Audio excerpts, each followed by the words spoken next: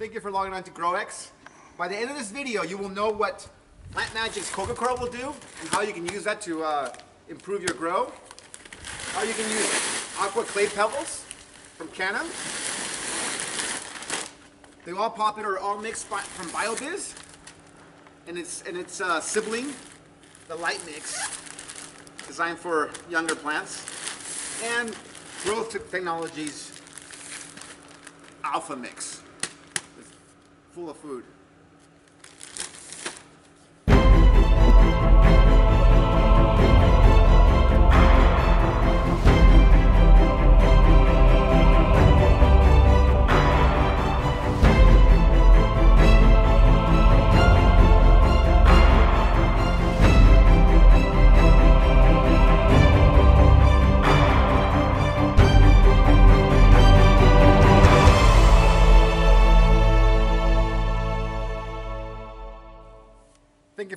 Logging on to Growex Hydroponics. Today we're going to have a special video. I'm going to talk about something that most of the industry people, people do not understand. Um, what is soil? People think that just because they come to a store and they, they come in and they, and they show me this and they go, "Oh, I grow in dirt. They always say, I grow in dirt, I grow in soil, I grow in earth. Um, I'm going to make some clarifications. They're actually not accurate. In hydroponics, the definition of hydroponics is the cultivation of plants without soil. So it's soilless cultivation. Um, and the definition of soil per se, I'm going to spend some time just explaining this. The definition of soil is that it consists of three things sand, silt, and clay. The sand and the silt are in nanometers, and the clay can be, um, which is the, the part of the soil that contains the nutrients, that contains the chemical um, differences between different soils, it's in the clay. If you were to look closely into into soil, you see that the smallest component would be clay. Clay would be like two, two pieces of glass, wet glass, stuck together. You know how they can slide this way, but they're kind of hard to separate this way. So clay is a very uh, complicated, um, elaborate uh, composition of chemicals. Some of them are bad for plants, some of them are good for plants. So in the 1930s, we developed for the first time soilless media or soilless substrates. Uh, we're going to talk about cocoa. We're going to talk about uh, peat, peat moss, sphagnum peat moss. We're going to talk about clay pellets and many other substrates that we can use in hydroponics. But just to clarify, once again, hydroponics is not the cultivation in dirt. It's the actual opposite. It's the soilless cultivation. We have absolutely no dirt in any of these products. When you go to a hydroponic shop and you say, I'm going to buy some dirt, you're not. There's not one gram of dirt in any of these products, with a few, ex- few exceptions. So I'm going to start. I'm going to start comparing for the first thing, um, peat versus uh, coco coir. Uh, peat has been around since forever. It's um, it is mined from the ground. Uh, there's mines in, uh, in Estonia, there's mines in Ireland and in northern England as well. Uh, most of the peat comes from Canada as well, in the, in the Americas.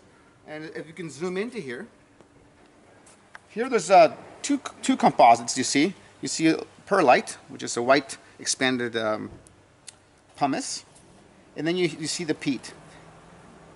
Peat is mined from the ground, so it literally is, excavators come and pick it out of the ground. It's uh, basically buried forest. Uh, it is not renewable resource. This is, unlike cocoa, this is not a renewable resource because it is mined from the ground. Cocoa comes from the coconut husks and the outer the outer husks from the cocoa. It's cellulose, a lot like the a lot like the peat. They look a lot similar. This one here has no perlite. And cocoa is, comes from the coconut. That is renewable because that's actually a, a waste product from the textiles industry. So cocoa is a renewable product. Peat is not renewable product. And I have a list here. This is really interesting. I made a list of when was the first time we actually came up with these mixes. And it was actually in the University of Yale, uh, Yale, Yale University in Connecticut. And it was in the 30s. And the, the very first, um, I looked this up, the very first soilless mix was done there. And it was composed by, they had um, they started with one bushel of peat moss, one bushel of vermiculite, which is a lot like perlite, but it's uh, golden, and it holds more water than it does air. One pound of dolomite lime for, for uh, pH control, and I had one gram of boron, which is nothing. I think today I think we have more boron in our tap water than we do than we do in our soil. Um, and it had two and a half grams of iron chelate. They knew back then all of this science, hydroponics, was developed pretty much in the 30s, and it was due to advancements in chemistry that allowed that to happen. So um, back then, they already knew that iron was one of the first uh, elements that you just tend to not have enough of in substrates or in soils. Um, and then they also added 20% superphosphate, which is almost a few, almost a half a pound, and some potassium nitrate as a small fertilizer. So they did have some food on there. Um, so this is the very first soilless mix done in Yale University in the 30s. That was kind of interesting. And we haven't changed much from then. We have replaced the vermiculite with perlite, which we have here. As I explained earlier, this is just pumice. It's ex expanded rock. And um, much like the clay, the clay pellets are also just expanded clay. In fact, the name of this, there's, we give it so many names here in our industry, hydrocorals, hydroton, uh, hydro, hydro rocks, hydrocorn. Um, the technical name for this is LECA, L-E-C-A, which is an acronym for lightweight, expanded clay aggregate. And in any hydroponic uh, system, you can use any inert element. You can use broken glass. You can use broken bricks. You can use rocks as long as they don't dissolve, uh, as long as they don't uh, fall apart and underwater. Uh, you can use clay, uh, plastic garbage. You can chop up the plastic in little pieces and you can use that as a substrate. It basically serves as an anchor to the roots. So all of these bags, when you go into a hydro store, you get sometimes you get overwhelmed. You're like, oh wow, what, which bag of all these do I use? And they all contain these soilless composites. And that depends on the, the system that you want to use it on. If, you're, if you have an automated system, you can get away with, uh, with substrates like a mix of cocoa with perlite, uh, cocoa with, uh, with clay pellets. This, the more percentage of clay that you put in here, the faster it will drain. When you have an automated system, you can do that. You can put, you can grow just in pure clay and clay pellets, and that's not a problem. You'll never, because it's automated, you'll never run out of water. You'll never run, the plants will never dry out. On the other hand, on the other hand, if you don't have an automated system and you're watering by hand, then you're going to want to choose a substrate that will hold more moisture for longer periods of time uh, because it's not automated. So you're going to do it by hand, manually. Um, between cocoa and cocoa and peat, I'm going to I'm probably going to make some people angry out there, but there are some differences, fundamental differences. One is superior. One is definitely a superior uh, substrate over the other. Like I mentioned earlier, cocoa is renewable. Peat is not. Peat is mined out of the ground. Two, cocoa holds more air and more water than does peat. That's a huge plus. More air and more water. It sounds like it's, it sounds like you can't do both, but it does. It has way more pores. If you look under a microscope, it's, cocoa is more porous. It's also like a sponge. So uh, unlike a long fiber, unlike peat, when peat dries, it contracts and it tears roots. It's called settling. And cocoa doesn't do that as much. It's much less uh, shrinkage. When it, as, it dry, as it dries, there's less shrinkage on the cocoa than there is on the peat. That's a huge plus. It's gentler on your roots. And another benefit is that when cocoa dries and when, when you water it, it's hygroscopic. It, it, it wants to attract water. On the, on the other hand, peat, as you know, you might have left some, sometimes you might, you might have gotten uh, carried away and, or not paid attention some, some of your plants might have dried. You'll see that the peat will contract around the edges.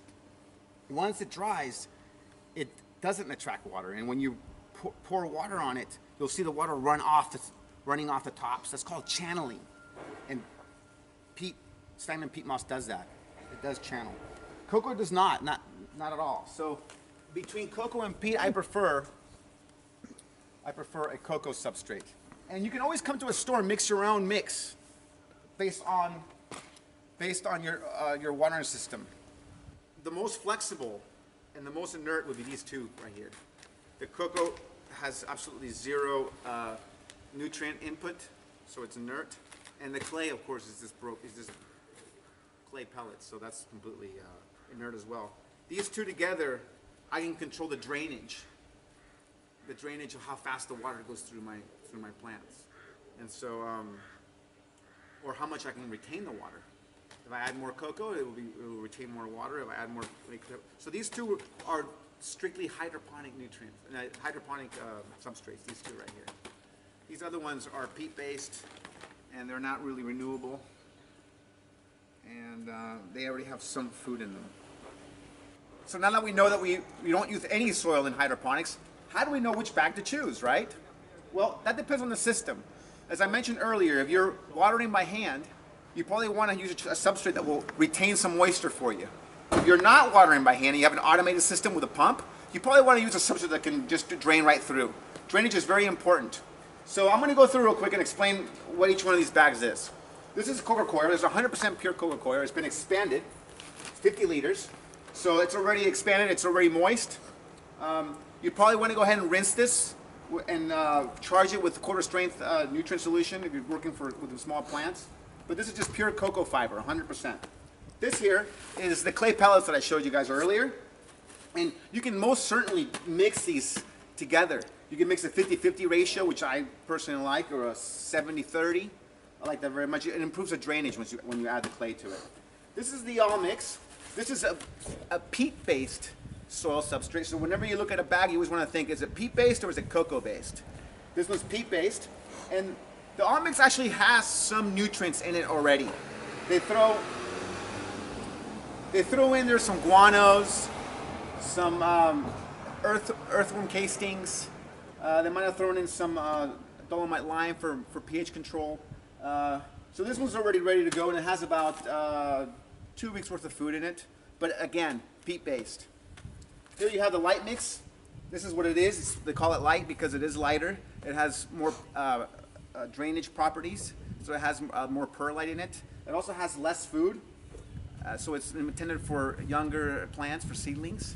But again, peat based. So when you walk into a store, you always want to say, is it cocoa or is it peat based? Um, and then the last bag here I want to show you, this was, this was probably the closest thing to soil in hydroponics. Um, this is also peat based, so it is mined from the ground. And it has uh, a, blend, a blend of food, uh, organic food, a mineral food. They threw perlite in there for drainage. Uh, maybe even sand, because it is a quite heavy bag. They threw some sand for, for, to improve drainage.